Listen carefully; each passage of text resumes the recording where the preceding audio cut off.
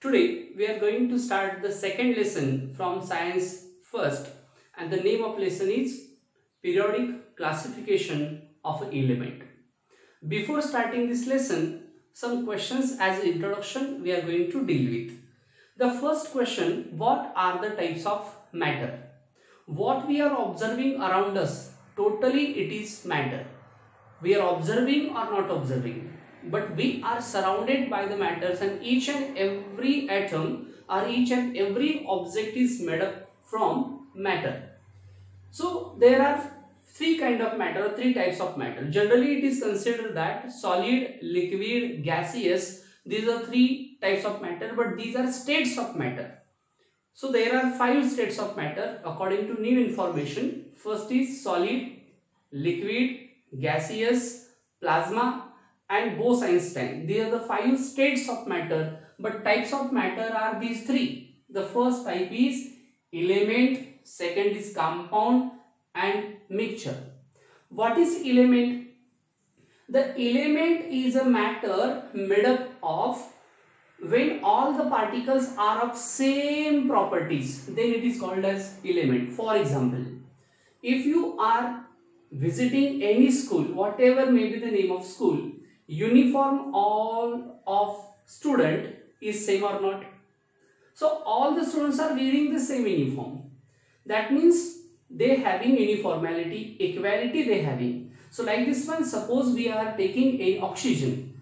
So oxygen's each and every particle of oxygen having the same property having the same mass having the same things everywhere. Or each and every particle having the same properties. And so the matter which is made up of particles which having the same properties that can be considered as a element. Then what is compound? Compound is a combination of two or more than two element in the fixed proportion. So what is compound? Compound is a what? Combination. Combination of two or more element. But here that is in fixed proportion. What is meant by this fixed proportion? Suppose H2O means what? Particles of H is 2 and oxygen particle is 1 this proportion. So the elements when they combine in a fixed proportion that will convert into compound. Then what is mixture? Mixture's definition is same but only one thing is cancelled in any proportion. In any proportion if you are going to mix it that is called as mixture. That means you are eating bhel. So within that bhel what are there? Minerals are there. Then onion is there. That is in any proportion. So if you are going to take sand and salt and going to mix within this within each each other then it is called as mixture because it is not chemically combined.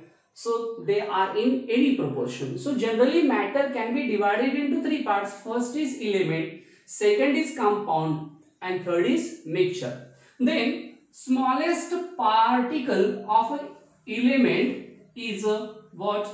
Atom.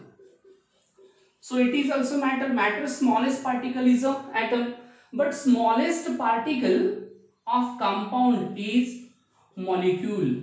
See here. This is very important part we are discussing now. So element smallest particle is atom compound smallest particle is molecule. But here elements may be monoatomic or diatomic or a polyatomic means what see here? If you consider ferrous then hydrogen, then oxygen, getting? So nitrogen. So these are the elements. But see here, how many atoms are there? Only one. So it is monoatomic element. Hydrogen and oxygen, many other examples are there, but here we are discussing only two. Hydrogen is made up of two small particle of hydrogen. So it is a molecule. It is a molecule of compound element but here H2O is a molecule of compound. So element also do have molecule and compound also having the molecule. But what is the difference? Elements molecule is made up of same particles. That means both particles are hydrogen hydrogen. Here both particles are or both atoms are oxygen oxygen. Here three atoms of nitrogen combines to form a molecule of a nitrogen. So it is also same. But one is hydrogen second is oxygen. It is having the different properties. So compound is a combination or compound molecule is a combination of different atom or different atom of different element but here atom of a same element. So it is monoatomic element, diatomic element and here poly. Poly means what? More than 2. Polyatomic element. So this is the basic difference in between molecule of a element and molecule of a compound. Now element has divided into three parts which are they? First is metal and those who are not, not metal that are called as non-metals and the properties of metals and non-metals are opposite to each other. But some elements we having in nature those showing both the properties of metals and non-metal so they are called as metalloids. So this is the general information about the matter. So how many elements we having having near about according to periodic table we having 118 element out of that 118 element 94 elements occur naturally that is that exist in nature and remaining element are not stable or they are synthetic made in laboratory. More information about this one you will get in the higher standard. Now why classification is necessary? See we are discussing classification of element. So why classification is necessary? When you having few atoms need not to classify. But if you having the more atoms then there should be classification. And how should be classification depend on their properties similar property should be made or included into one group one good example for this one. See here, you having playing cards. Do you know how many playing cards are there? 52. So out of 52, for better understanding, we are going to divide this 52 playing cards into two groups. How do you divide? That is first red cards and then black cards. So within the red cards, we having diamond cards and heart cards and within the black cards we having spade cards and the club cards so like this one we can divide. By dividing the elements it is better or it is easy to understand the properties of element. So classification is necessary. So what happened previously? Around 1000 that is 1800 around 1800 few elements were known. Later discovery has occurred or they have done discovery. And today we having near about 118 elements. But at that time few elements were there. So there was not necessary to classify. And some people tried it to classify and they have divided only metals and non-metals and later we got the third group that is metalloids. So initially there were three kind of elements which were the metals, non-metals and metalloids. Because only near about 30 elements were there. And so classification also limited. But when people started to discover different different different elements yes there was a necessary of classification many people have done their contribution or they have given their contribution for the classification of this element. As the knowledge about the elements and their properties went on increasing different scientists tried out different methods of classification. So some scientists we are going to learn. The first scientist that is Dobereiner his traits. The second scientist is Newland its octave a third scientist is Mendeleev. So Mendeleev's periodic table and last one modern periodic table. These four points and some remaining parts we are going to discuss within these sessions. or in following sessions. See here, the first scientist we are dealing with, the first scientist name is Dobereiner from 1870 around 1870. So what he has done? So he has studied all known element at that time and stated that properties of an element, properties whether it is metal, non-metal, why it is hard, how it is chemically combined with other, how it is going to combine with other, all the property of that elements are related to their atomic mass or atomic masses. Means what? See, what is meant by atomic mass? Atomic mass is a number of particles within the nucleus. So nucleus very important part which controls all the atom. So he has concentrated on the particles which exist in the nucleus that is proton, protons and the neutrons. And so it is nucleus is a heavy part so its mass is concentrated at nucleus and so he has given more importance to atomic mass. See here. So in the next sessions we are going to discuss why the people's theory has failed. So he has given more importance to atomic mass. Again what he has done? He made the group of three elements having similar properties. Suppose three elements which having the similar similar properties that means if how they are reacting with oxygen if two elements or two atoms are going to react with oxygen. Then second is also in number 2 they are reacting the oxygen. Third is also going to react the oxygens with the two number. So these having the same properties so he has made the group of three elements. At that time few elements were known and he has made three groups. Which are they? First lithium, sodium, potassium. Because they having they shows similar properties. Second calcium, strontium and beryllium. And third group he has done chlorine, bromine, chlorine, bromine and iodine. These are the three groups he has made. And this this group is of three elements so it's this group is called as triads so he is Dobereiner. So if these triads are called as Dobereiner triad. Many times this question for one mark has asked in the examination. Explain, define what is meant by what? Dobereiner's triad. So how will you define?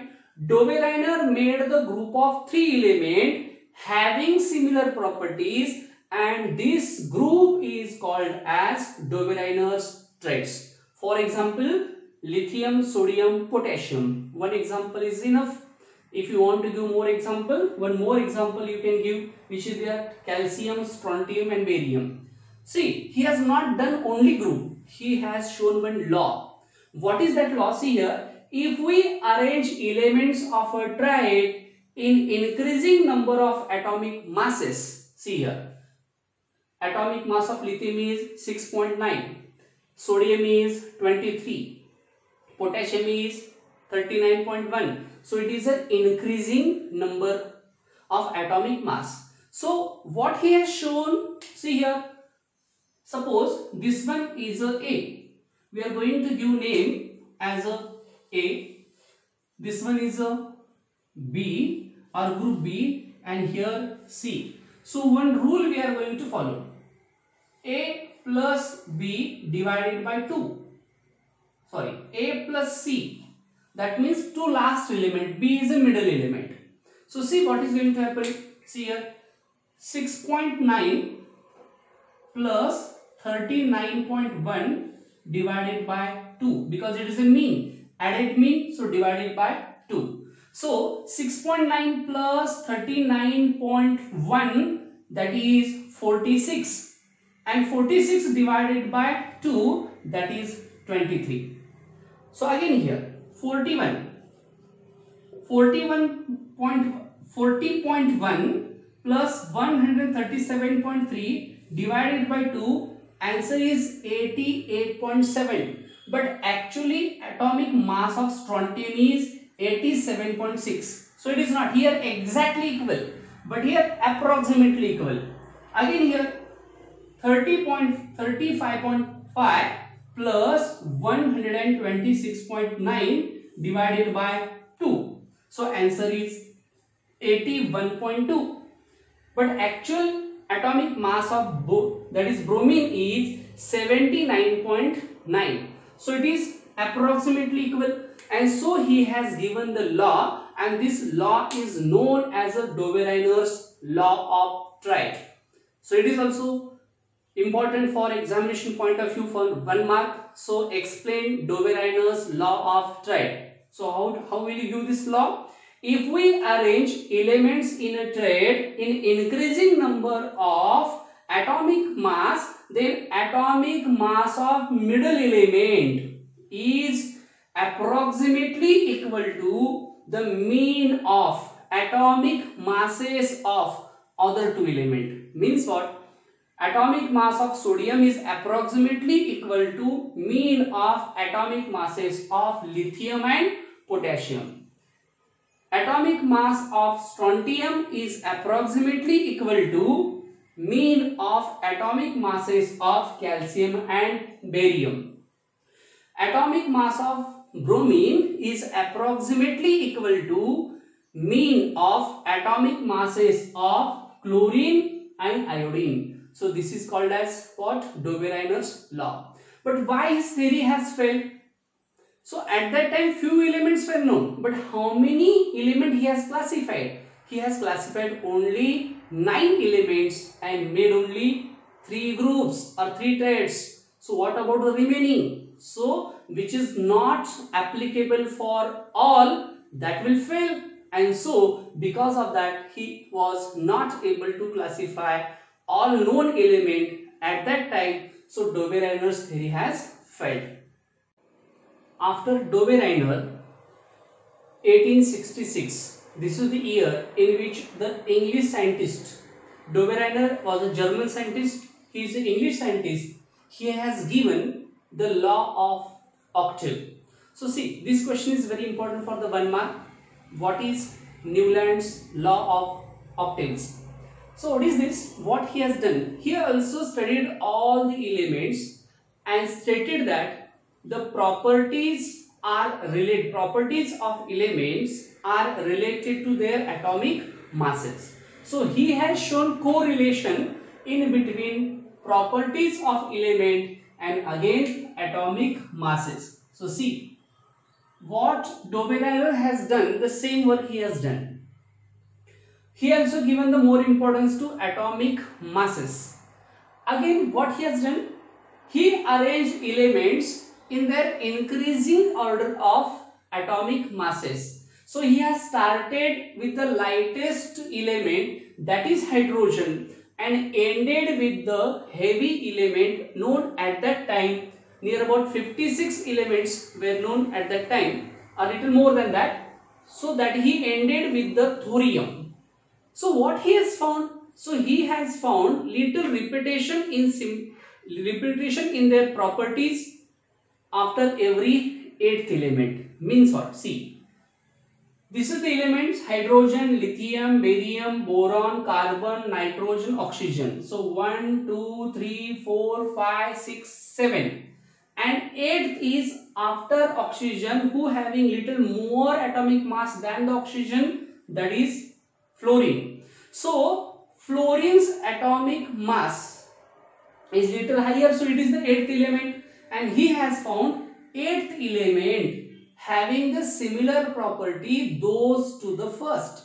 That means if it is first 1, 2, 3, 4, 5, 6, 7, 8.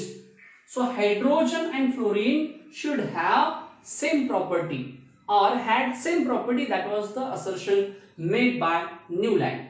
And this law is called as that is Newland's law of octaves. So how will you explain this Newland's law of octave? Newland has arranged or Newland has given correlation between properties of element and atomic masses and arranged element in their increasing number of atomic masses. So he found every eighth element had properties similar to those of the first. This law is called as Newland's law of octaves.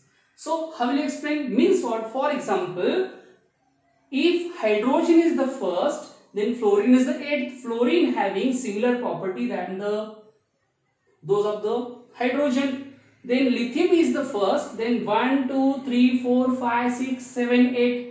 That means lithium and sodium having the similar property.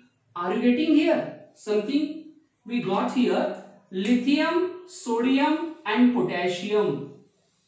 So what is this? It is the first trait of Dobereiner. Again we got here. Yes, so something is common there. So these are the experiments only. It also failed. Why it failed? We are going to discuss. So sodium having the similar property that of the lithium, magnesium having that of the beryllium, aluminum's property similar to boron, silica's property similar to carbon, potassium property is similar to it is a phosphorus. That is having the property with the sodium that is nitrogen and sulfur's property is similar to the oxygen. Like this one he has given.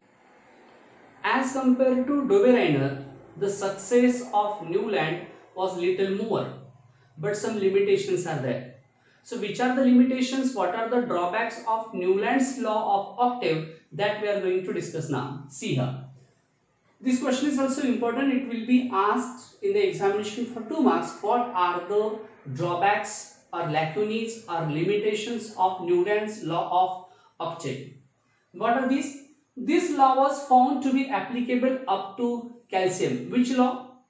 If we arrange all the elements according to their increasing number of atomic masses, hmm. then every eighth element having similar property or had properties similar to those of the first. That was the rule. That means fluorine having fluorine and hydrogen same property, sodium, lithium having the same property, magnesium, beryllium having the same property. Like this one, chlorine, fluorine having the same property, potassium and sodium having the same property, calcium and magnesium having the same property but this law is applicable only up to calcium. After calcium, chromium, titanium, manganese, ferrous do not having similar property that of the first element. So this theory has failed. So it is the first limitation. What is the second limitation? See, it is a short one. Some examples we have taken. So he has arranged 7 into 8 that is 56 boxes. 1, 2, 3, 4, 5, 6, 7 1 2 3 4 5 6 7 8 like one like this one 56 boxes he has arranged. And to place all known element at that time what he has done see here? Number 1 number 2 so two elements in the same note. Two element in the same note. Then if these elements are different, definitely they have in the different property. So how these two elements can be fitted in the same note?